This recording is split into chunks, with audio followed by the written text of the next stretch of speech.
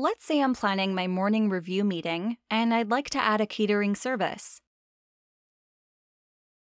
I'm going to enter my reservation details in my planner,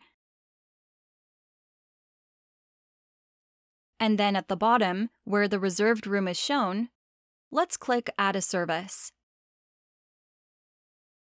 Now we see which services are available for this room, and using the drop down menu, we can enter details about the service, including amounts and delivery times.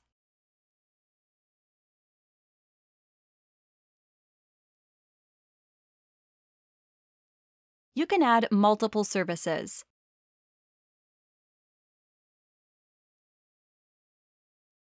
At the bottom, you'll see a total cost. Now we can add them, and we'll again see their total over here. And click Save to finish.